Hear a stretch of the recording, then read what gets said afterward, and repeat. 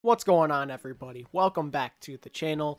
In today's video, we're going to continue the How Good Is Your Overwatch League Team series, and by popular demand, I will be talking about the Dallas Fuel. If you're new to this series, just know that basically I evaluate the team in terms of their coaches and their players to see how they stack up against the rest of the league, and then I make a prediction after talking about all the players and coaches to tell you guys where I think the Dallas Fuel will end up finishing in the overall standings in Overwatch League Season 2. Alrighty then, with that out of the way, let's quickly go over the coaching staff for the Dallas Fuel. Usually I just like to talk strictly about the head coach in these types of videos, but I feel like it's very necessary to talk about the assistant coach the head coach for the Fuel because they have two very popular and intelligent men at those positions. Of course, at the head coaching position, they have Aero, and as their assistant coach, they have the popular Twitch streamer Jayne. I strongly believe that both Aero and Jayne make up one of the strongest coaching staffs in the entire Overwatch League. Like I mentioned before, they're both super intelligent and I think they're both very knowledgeable when it comes to Overwatch. And as a result of this, I think all of the players on the Dallas Fuel are going to grow tremendously from all of the help they'll receive from the two of them. I'm going to stop myself there and move on to the players because I feel like I could talk about both Jayne and Aero all day long. I'm a big fan of both of them and I could easily make a video just about the two of them and it could probably be around the same length as this video. So with that being said, let's move on to the main tank position position. The Fuel only have one player at this position at the moment, and of course it is OGE. This guy is really good at the game. I thought when he first joined Dallas, he was a little bit underrated in terms of how he performed, but during Stage 4, I really think he proved his worth to everyone out there with the way he played on Reinhardt and Winston. His Orisa's not bad either. I think he's just a very consistent player, and I expect him to be one of the bright spots on the Fuel this season. Up next on Flex Tank, I first wanted to talk about Mickie, and yes, I know he's not the greatest at what he does. I'd say he's a pretty average D.Va player, maybe slightly above average at best,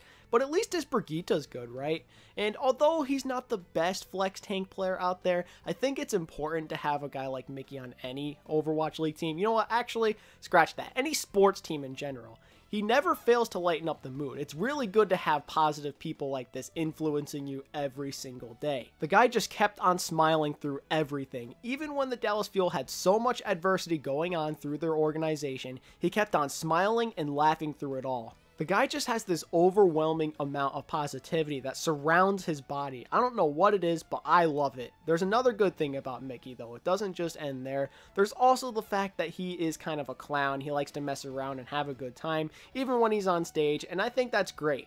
Again, it never hurts to have a guy like Mickie on your team even if it's not an esports organization, even if it's a baseball team, a football team, it does not matter. Having someone like Mickie is always going to benefit you. Joining Mickie at the flex tank role is RCK, and he was one of the new acquisitions for the Dallas Fuel that they got during the offseason. He comes from Team Gigantti, which means that he's gotten some good experience. He was on a solid team, and he played against some really good talent in Overwatch Contenders Europe. I think RCK has a solid hero pool for his position. He can play D.Va and Zarya, of course, but also he can flex onto Genji too, which means that he may play some projectile DPS for the fuel during the season in some of the games. I'm pretty excited to see what this guy can bring to the table. That's all I have to say about the off-tank position for the Fuel, so now let's move on to their supports. On main support, the Dallas Fuel actually have two players.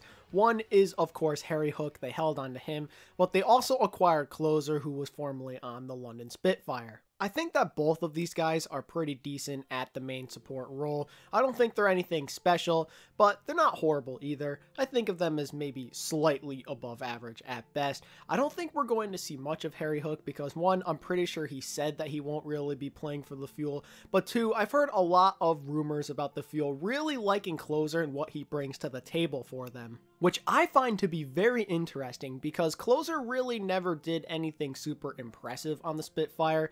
He wasn't bad or anything, but I don't think he was all that great either. But maybe the London Spitfire just weren't a good fit for him. Maybe the Dallas Fuel has been his calling this whole time, and this is the team he really belongs on. I really hope that Closer ends up having a good season, and that he ends up being part of something that could potentially be very special. Moving on to flex support, we of course have to talk about the bloodthirsty Frenchman himself, uNKOE, and what is there not to say about this guy? Not only is he one of the most consistent Zenyatta players out there, but I very much consider him him to be one of the best Western Zens out there. There aren't many who can compare to his skill level. He's got extremely good mechanics both on Zenyatta and Ana. He has just this very fluid way of playing the game, and I very much enjoy watching it. Acquiring uNKOE from the LA Valiant was one of the smartest moves the Dallas Fuel could have ever made, and I think it's safe to say they are set at the flex support position until further notice. That's all I have to say about the Dallas Fuel support player, so now let's talk about the DPS role, and I want to start things off by talking about Effect, because I consider him to be the best player on this entire team. You can make the argument that maybe OGE or uNKOE do a little bit more for the team, but I personally think Effect is the best. All you have to do is just look at what he did during Overwatch League Season 1 for this squad. He carried them time and time again, even though they were still losing a lot of their games, he consistently showed up and popped off off. Effect is one of the hardest workers in this entire league, and I think it pays off. Just by looking at how he performs in game, you can tell that his aim is just absolutely crazy, and the reason for that is because he just works on it all the time. He's one of the better hit scan players in the league, in my opinion. His Widowmaker, his McCree, and his Tracer are all absolutely insane. He can also play Doomfist, he can play some Zarya too, I believe. This guy can do a little bit of everything, which is just awesome. Effect is just a superstar DPS player, and I can't wait to see what he does for the fuel this season. There is one concern I have about him, however, and that is his mental state. If it gets really bad, he could end up getting burnt out like he did last season. I really hope that this time around that doesn't happen and he stays for all of the games this year because I think the fuel are going to need him. The second DPS player on the Dallas Fuel is Taimou, and he also happens to be a hit scan specialist. His signature hero is McCree, but his Widowmaker is also quite strong. Overwatch League Season 1 was a bumpy ride for Taimou.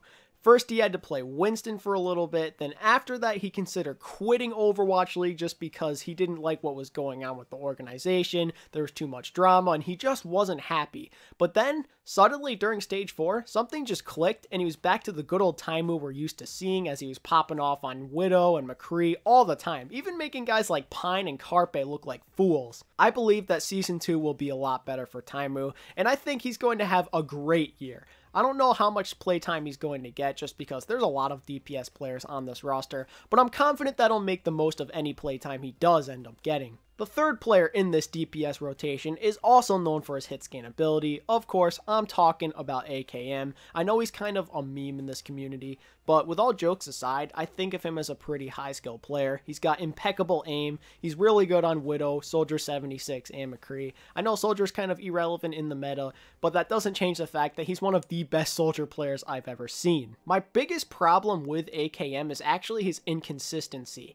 I feel like there are times where he absolutely dominates the opposition, and then there's other games where he's the one getting dominated. It's very strange, and I'm really hoping he can fix that coming into Season 2. And finally, last but certainly not least, is the flex DPS player Zachary, and it's kind of weird that he's the flex player on the field just because he's also mostly known for his hit scan role. I know that he can play Genji and maybe a little bit of Pharah, he's also a decent Brigitte player, but I think he's mostly known for playing Tracer and Sombra, so it is kind of strange to see him as the flex DPS player on this team. Nonetheless, though, I think Zachary's a guy with a lot of potential. He's shown flashes at times, but he's also inconsistent, kind of like with AKM. Zachary also lacks pro experience. I know that he played in contenders for a while and that he was on the American Overwatch World Cup team this year, but he hasn't played enough against the tier 1 players, and I think because of that, he might not do too hot at the beginning of Overwatch League Season 2. Perhaps by the end of the year, or maybe going into Season 3, we'll see him progress into a really good player. I think that in time, Zachary will gain the skill and knowledge needed to be very successful in the Overwatch League. And I think that pretty much wraps up everything that I wanted to say about the Dallas Fuel's players and coaches. The Dallas Fuel have a reasonably high ceiling as to how well they can perform this season, but the question is,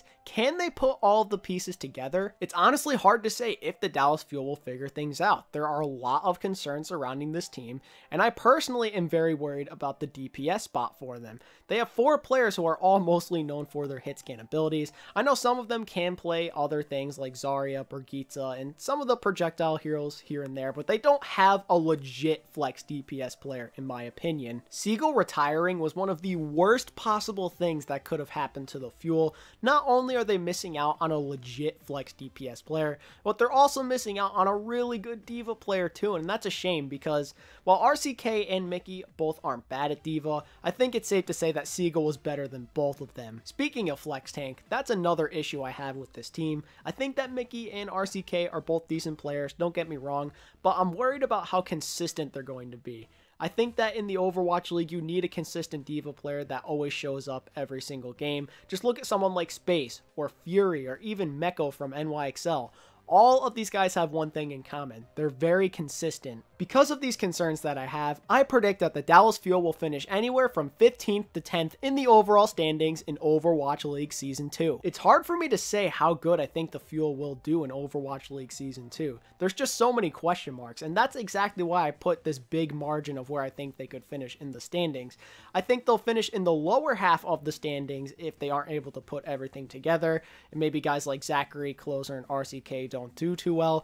But on the other hand, if they do figure things out and they get into a rhythm, I think they'll be able to compete against just about any team, and they could very well end up making the playoffs. One thing I'd like to add before I start to wrap things up is that the Fuel could be a dangerous team in the GOATS meta, and I say that because they can abuse the fact that Mickie is a really good Brigitte player, and then you could have RCK slide over to D.Va and then maybe have Effect play Zarya, and you could have a recipe for success. Just an idea. And that pretty much wraps everything up here, ladies and gentlemen. That's that's how good I think the Dallas Fuel will be in Overwatch League Season 2. So if you enjoyed this content today, make sure to hit that like button. And if you're new around here, consider subscribing and clicking the bell icon so you don't miss my next Overwatch League discussion video. I plan on doing a how good is your Overwatch League team video for every single team, so stay tuned for the next episode. And feel free to let me know what you think of the Dallas Fuel down in the comment section. Thank you all so much for watching, and until next time, this is ATP signing out. Peace.